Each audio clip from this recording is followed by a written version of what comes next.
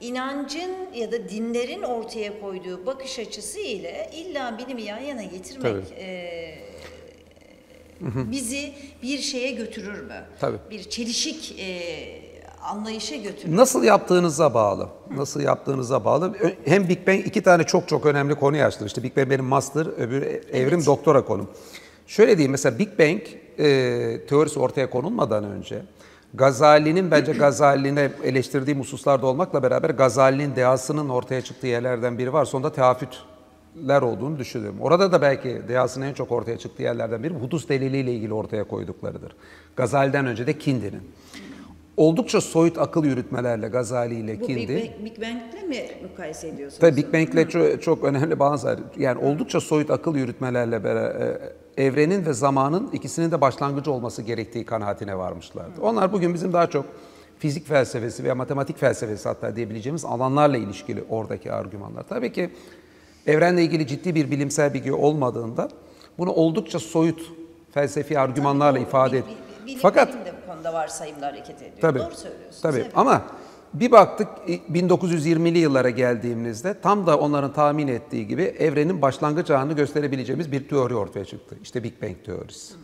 Evren sürekli genişlemekte ve bunu biz teleskop gözlemleriyle Hubble'ın 1920'de gösterdiğimiz gibi aynı dönemde e, teorik fizikçiler yine George Lemaitre ve Alexander Fredman ki bunlar Einstein'ın formülleri üzerine çalışırken Einstein'ın kendi formüllerinde göremediği bir sonucu görüp evrenin işte genişlemesi gerektiğini yoksa çök, çökeceğini yani çökmeyi e, çökmemesini bu mekanizmayla tarif edebileceklerini anladılar. Ondan sonra çok detaya girmek istemiyorum. Birçok delil de bunu doğruladı. Yani Gazali ile Kindi'nin hayal edemeyeceği şekilde evrenin bir başlangıcı ve zamanın da o başlangıcı olması gerekir derken zaten izafiyet teorisi uzay ve zamanı birleştirmişti. Birinin başlangıcını göstermenin diğer olduğunu e, fiziksel alanda göstermişti. Bir buradan o teoriye bir destek geldi. Diğer taraftan evrenin başlangıcını işte 13,8 milyar yıl önce gösterebileceğimiz bir nokta oluştu. Mesela burada bana göre e, bilim din adına, felsefe adına ortaya savunulan argümanlara ciddi bir destek verdi gözüyle bakıyorum. Öbür şeyin arkadaşın da söylediğini tabii ki e, evrim teorisine gelirsek.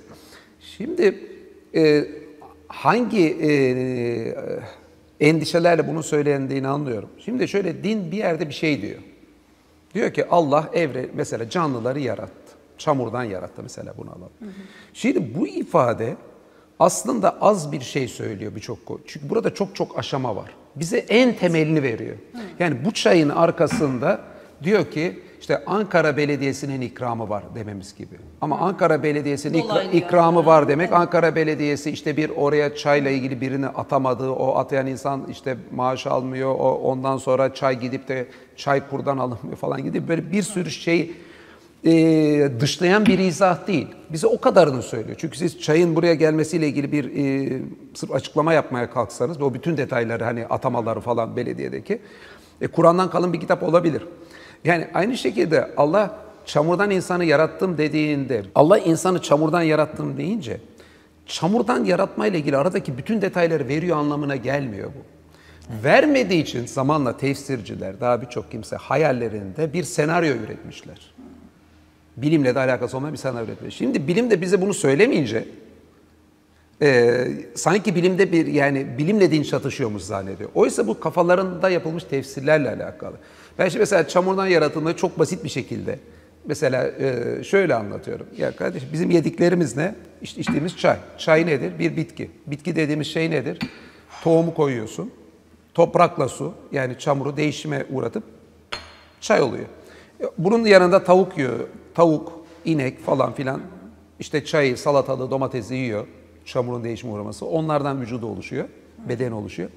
Biz bu hayvansal gıdaları, bitkisel gıdaları yani çamurun değişime uğraması olan varlıkları yiyoruz. Bedenimizde değişime uğratıyoruz, ben oluyoruz. Yani çamurdan yaratılma olgusu her an gözümüzün önünde gerçekleşen bir olgudur. Şimdi bilimin bize söylediği tabloya göre bir saniyede 5 bakın. Bir saniyede 5 milyon hücre oluşuyor. Şimdi 5 milyon. Nereden geliyor bu 5 milyon hücre? Yani uzaydan mı geliyor?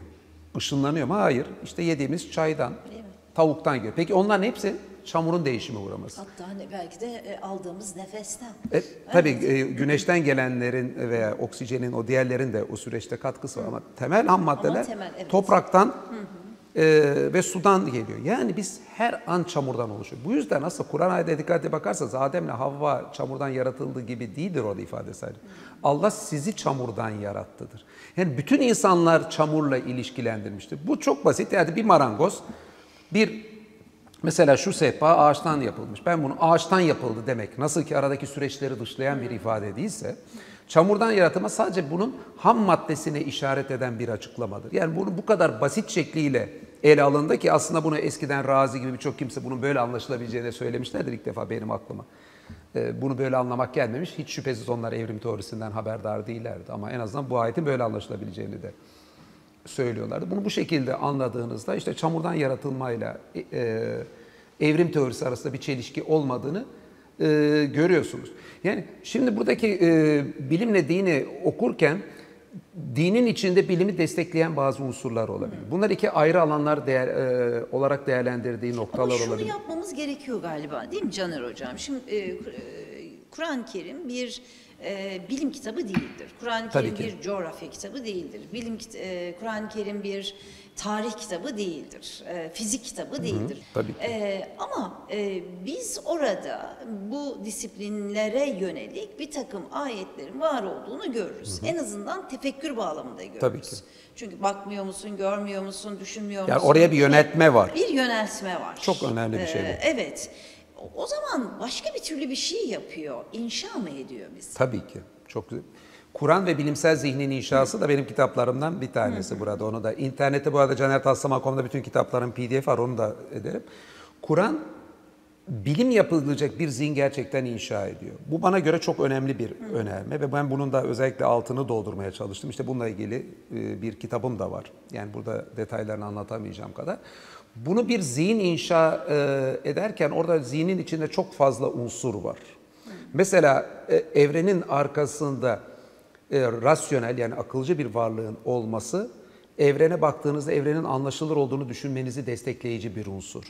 Bu bir ilk anda pek hemen anlaşılabilecek bir cümle değil e, bu dediğim ama bu detaylarına baksınlar kitap. Ama en rahat anlaşılabilecek kısmını söyleyeyim. Kur'an evreni daha iyi anlayabileceğimiz unsurlar vermesinin dışında çok açık bir motivasyon veriyor sizin e, söylediğiniz ayetlere göre. Bu kitabı okuyun, her şeyi bu kitaptan öğrenin diyen bir kitap değil Kur'an. İşte evreni öğrenmek istiyorsanız evrene gidin bakın diyor. Mesela bir ayette diyor ki işte yeryüzüne çıkın da bakın işte Aslında nasıl doğrudan ya- kendisine yönlendirmiyor. Enteresan Yaratılma, benim de tabii. dikkatimi çekiyor. Git doğaya bak diyor. Tabii. Gökyüzüne bak diyor. Kendi ontolojik varlığımıza yöneltiyor mesela. Çok e, ilginç bir e, yönlendiriş var. Bir din felsefecisi olarak herhalde dünyadaki etkili olan dinsel metinlerin çoğunu geniş kitlelerde biliyorum. Yani hiçbir metinde Kur'an kadar evrene, e, işte geçmiş tarihe bu kadar yönlendirme yoktu. Mesela geçmiş kavimlerle ilgili de Kur'an dikkat edin. Onların o, e, işte yaşadıkları Ha, evet, yerlere gidin evet. bakın inceleyin. Tecrübeye orada inceleyin. çekiyor. Yani şöyle demiyor. Ben size hikayeyi anlattım, öğrendim, bitti demiyor. Veya gökyüzüyle ilgili ben Allah yarattı dedim, bitti demiyor. Oraya gidin bakın. Oradan delilleri, ayetleri görün diyor. Ya- Yeryüzünü gezin diyor. Yani. Kur'an'ın söylediklerinde bilimle ilişkili hususlar var. Mesela kozmoloji açısından şunlar çok önemli bence. Başlangıçlı bir evrendeyiz diyor Kur'an.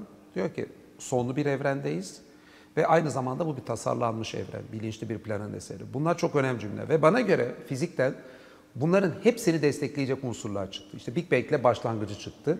Yani en sıradan fizik kitabında bile evrenin, dünyanın, güneşin, yıldızların sonunun kaçınılmaz olduğu anlaşılıyor ki bunlar Kur'an'ın dev kozmolojik iddiaları peygamber döneminde gözükmeyecek. Tasarlandığı konusu biraz daha tartışma, argümantasyon gerektir ama demin söylediğim hassas ayarlar gibi birçok şey e, onu da destekliyor. Fakat Kur'an böyle yani böyle ana hatlar bazı evrenle ilgili iddialar, bilimle ilgili verse de yani detayları suyun işte kaynama noktası şudur gibi hususları böyle detayı vermiyor. O yüzden cümleniz çok doğru. Kur'an bir bilim kitabı değil. Ama söyledikleri bilimle alakalı bir kitap ve de bilimle ilgili e, bilimsel düşünmekle ilgili zihin inşa eden ve motivasyon veren bir kitap. İkisini de bir arada yapan şey var. Yani hem bu bilim derken burada sırf doğa bilimlerini de anlamıyorum ki doğa bilimleriyle ilgili de veriyor. Hem evren hem canlıları inceleme. Aynı zamanda ama bizim işte arkeoloji diyeceğimiz veya toplumdan incelenmesi diyebileceğimiz diğer bilimlerle ilgili. Yani oralara yönelten e, birçok izahı da var. O yüzden yani bilim din ilişkisi e, bilim din işte uyuşur, uyuşmaz, e, çelişir gibi tek bir cümlede e, başlık konulup da e, geçiştirilebilecek bir konu değil. Çok böyle alt başlıklar açmak, detaylı git- gitmek e, lazım hususta. Tabii şu da e,